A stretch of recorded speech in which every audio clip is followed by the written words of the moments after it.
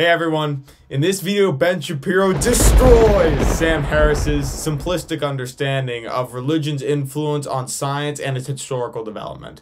This is part one of a two-part reaction series to this conversation between the two men, so if you want to see part two, be on the lookout. But with that, let's get right into it capable of understanding by any sentient human being. So I don't believe that all human beings, in the absence of religion, are immoral people who go around murdering their neighbors and, and raping their sisters. Uh, I think that, that and in fact, this is pretty well embedded in even Judaic philosophy. The idea that there is a sort of natural law theology where you, as just a normal person, know not to kill people and know not to steal and know to set up courts of law. This is what they call the seven the seven commandments to Noah. Um, but the right uh, part of the Bible and um, also part of Ben's portion of the Bible is because uh, if if you do not know this by some miracle, Ben Shapiro is an Orthodox Jewish man. Um, but yeah, the idea is that um, God writes on the heart. So even if you're not um, explicitly religious or aware, some uh, some basic moral instincts and basic moral sense should still be there. So that's right. The idea is that anyone can basically discover these things, and there are universals across culture about you're not supposed to murder your brother. Um, yeah. But the the biblical reading is that to reach a more sophisticated level of morality that leads to a sort of right-based society we see here, you at least need the the catalyzing enzyme of of a Judeo a Judeo-Christian religion in order in order to get here. That that would I think be the, the most Sam rationalistic argument on behalf of Judeo-Christian values. Uh, but, but where is here again? Uh, here would be a civilization that values individual rights above the values of the collective.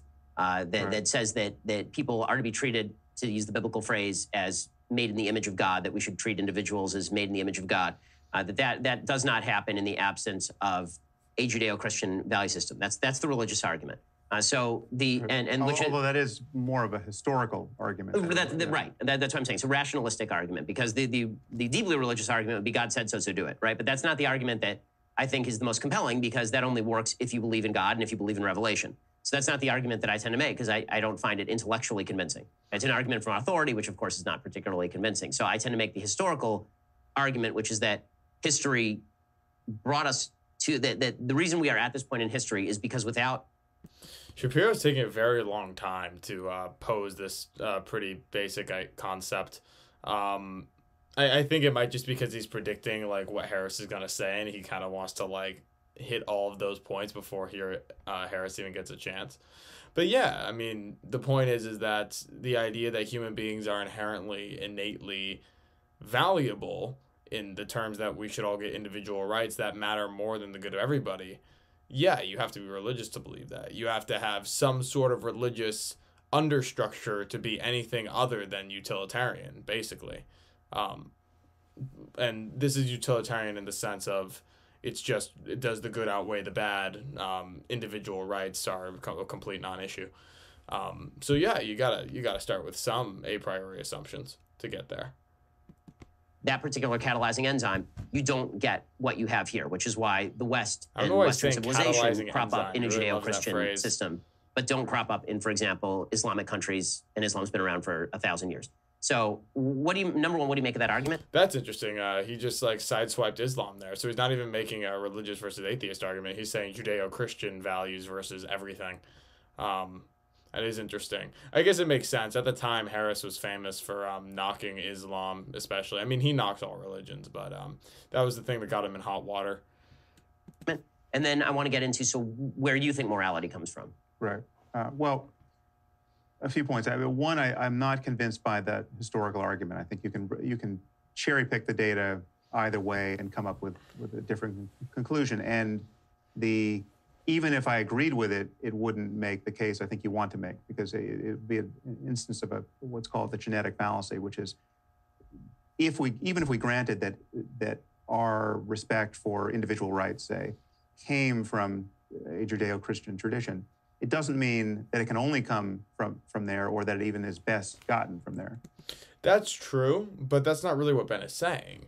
But or that I, I hope that's not what he's saying. Uh, the the smarter version of the argument is like, sure, maybe you could get it from something else, but we haven't. We've had thousands of years. Atheism has existed for a while. It hasn't shown a way to get from point A to point B here. So maybe don't risk the foundation of individual rights on the gamble that you'll find a different way to get there later. uh, it's again you might be noticing a theme with if you've been sticking around. Um, it's not about that change being good is impossible. It's that getting rid of what we have now is very, very risky. And if you're a temperamentally cautious or conservative person, you're loath to that sort of thing. Uh, and, I, and, I, would say that it, it, actually hasn't come principally from there. And there are many ways. So, for instance, you could say that that Christianity, in particular, was responsible for, in part, responsible for the fall of the Roman Empire. Right. So, the, so Christianity undermined uh, the notion that the, the, the, the Roman emperor was uh, a god. You know, it, it made it harder to recruit true soldiers, and they had to farm it out to mercenaries. And you know, it eroded, you know, uh, what you might call traditional Roman values. And right. then, you know, the Western Empire fell, and you know, we, we ushered in the Dark Ages. Clever, um, Sam. Um, and insofar as there was a reboot to civilization at that point, it was largely the result of classical, the, the learning and, and philosophical insight of antiquity being preserved by, of all people, uh, the, the, in the Islamic world, right. right? I think it's you can you can have it any way you want looking at history, but it just doesn't get you there in terms of the the moral content and the and in this case, you know, the political or, or social content coming from the Bible or, or any other religious text. So then why then why here? Meaning like why in Judeo-Christian civilization, civilization, but not Islamic civilization? Because you mentioned rediscovery yeah. of Aristotle and, and reuse of Aristotle in 10th and 11th centuries was really beginning, you know, in, in the Islamic world long before Aquinas really repopularized it in the in the 13th and 14th centuries. Yeah, yeah. Well, one, I, I think it's you know, from my point of view, it's impossible to ignore the influence of Islam. I mean, Islam is its own ideology and set of dogmatisms that are inflexible and at odds with the spirit of science in, fundamentally. And despite the fact that there was a brief period where there seemed to be some you know, happy convergence between scientific and mathematical insight and Islam, for the most part, Islam has been hostile to you know, a real intellectual life. And in, in a way that Christianity was hostile, even when uh, uh, the scientific worldview was was struggling to be born in in you know the, the 16th century mm-hmm. and the 15th century. Uh, the uh, what, what we have historic. By the way, to give the devil his due, not to call Sam the devil. That I mean that is true, and it's born out of that same type of caution, right? You can imagine Christians in the 15th and 16th century essentially saying this is new, uh, what we have is pretty good. Uh, let's not risk everything. Um, but his case is not quite as strong because of circumstances. Things right now in the 21st century are infinitely better than they were in the 15th or 16th century. We have a lot more to lose in terms of prosperity and stability than they did. Um, and then the other thing is is that the threat posed is a little bit lighter. Um, just the process of science, the idea of like, oh, is the sun a disk or is it a big ball of gas? Is the Earth flat or is it not? Um, there is a bit of revisionist history there. Um, the, the Catholic Church wasn't really as opposed to a heliocentric mo- model as um, as high school books might have led you to believe. But that said, they, they were opposed to this, and that's a lot less threatening than what we're dealing with now. The types of things we are being asked to abandon, um, the idea of not just scientific process as part of the knowledge gaining process, but the embracement of pure rationality is uh, something that we've been asked for. Um, and then on top of that, and with that um, comes, you know, the abandonment of things like men and women existing, um, and other and other strange and uh, zany requests. So, I would say that I would give the devil his due in the idea that the same um, the same motivation of caution is at, was at play for those religious people in the 15th and 16th century, but uh, the the facts of the case, the circumstances of the actual case, are a bit different today. Is a, a real war of ideas, and I mean, I mean just, hey. it, just it can be crystallized in the moment where you know Galileo was shown the instruments of torture and put under house arrest by people who refused to look through his telescope. Right. I mean, so that was the genius of religion paired with the with the emerging genius of science uh, in that room. Well, to be fair, I mean yeah. Galileo was originally sponsored by the church, and so was Copernicus. But the but the oh look, Ben Ben pointed it out. Yeah, they weren't really as opposed to that as as um you would be led to believe. I remember they had a there was like a weird esoteric reason they went after Galileo. I forget what it was. yeah, but, but, but, there's but no only, question there's yeah, a backlash from the church to this stuff. Yes, and, right. and, but, and the backlash makes sense because there is a intellectual progress on questions of you know just you know how the cosmos is organized or where it came from or how life began. Um, you know all of these questions uh, are the, the, the, scientific answers to which are, are, are in zero sum contest with the, the doctrines found in the books. Now, there it's. I disagree with this. I don't think it's a zero sum context. Uh, contest. There are some things, sure, that could be zero sum, but fundamentally, I don't think religion and science are really opposed. Um, Peterson has talked about this um, about how universities were basically monasteries, that they were basically the same thing.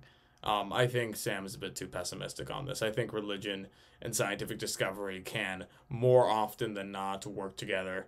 And I think that in a healthy society, they will have to coexist and be complementary forces, each in its respective and proper role. Um, so he's um, he's got a little bit of a uh, Hobbesian view on this. It's a cutthroat winner take all religion versus science, but I, I don't think it has to be that way. Not for most things, anyway true that there are religious people, and now even the Pope, who have relaxed their adherence to tradition enough to make room for something like evolution, right? But it's still it is still a problem. Not, not a super new idea. I mean, right? Uh, uh, Aquinas was talking about this in the 13th century. Yeah, Ben is um Ben is giving Sam a hard time too. So yeah, that's just one example. He's going to give you one example of what I was talking about. 14th century, the the idea that uh, that if it was in science and it was contradicted by the book, then you're misreading the book, right? I mean, that's that's that's a pretty old idea. Yeah, yeah but in, that, but that is to world. subvert science rather than the book. In Aquinas' case, I mean, Aquinas thought heretics should be put to death, right? His argument for for that, for for capital punishment for heresy, and Augustine made the same argument. He thought Augustine uh, thought they should be tortured, right? So that those two great lights of the Catholic Church gave us the Inquisition and gave us you know more than a century. I think it's also fair to say that they were rather instrumental in the development of modern science. So the the, the Dark Ages. No. Eh, first of all, I think the Dark Ages are, are a bit of a, an exaggeration in terms of the Dark Ages themselves had, saw a, a massive a massive growth in technology and architecture, for example. I mean, Gothic cathedrals are built during the Dark Ages, but sure, sure, but the yeah. but the, but the scientific the scientific science. world is well virtually every major university in the Western world was sponsored by the Catholic Church, and I'm not I'm not a great Catholic defender. Look, look, uh, I get again great minds, I suppose. I promise you, I have not seen this recently. Um, but yeah, I mean, he's. It's not to say that Harris's point is fundamentally wrong about how you know in the Dark Ages, um, religion and science were often at odds, but Shapiro is doing, I think, is an important thing is just adding context and adding nuance and you know, poking at that narrative a little bit to show maybe it's actually not that cut and dry. Hey guys, I hope you enjoyed that reaction video. If you did, drop a like and please consider subscribing to see more. If you didn't, tell me why. I want to hear your thoughts down in the comments below. I want to have these conversations. If you want to see the rest of my content or explore the broader Pangburn universe that I'm a part of, click one of the buttons that should be floating around my head right about now. And as always, I hope to see you all out there engaging in the war of ideas.